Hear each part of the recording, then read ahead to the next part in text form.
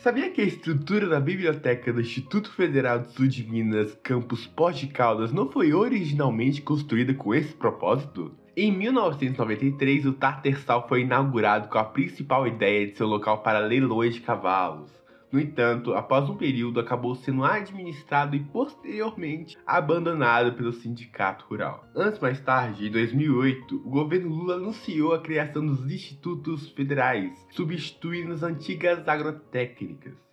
Foi somente em 2010 que o popularmente chamado IF de Ciência e Tecnologia Campus Pós de Caldas foi inaugurado, ainda sem pré-administrativo e sem biblioteca, foi então que, em 2018, o antigo Tatersal de Leilões passou por um processo de revitalização para dar lugar à biblioteca do Instituto. Localizada na encantadora cidade de Pós de Caldas, o campo se tornou um marco na educação da região, oferecendo ensino de qualidade e oportunidades para a comunidade humilde local. Além disso, o Instituto Federal do Sul de Minas, Campus Pós de Caldas, se destaca por sua atuação em projetos de pesquisa e extensão, contribuindo em muito para o desenvolvimento social e econômico da região.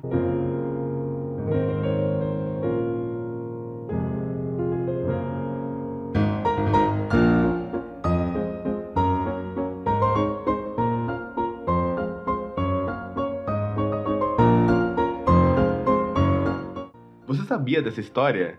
Compartilhe para saber mais.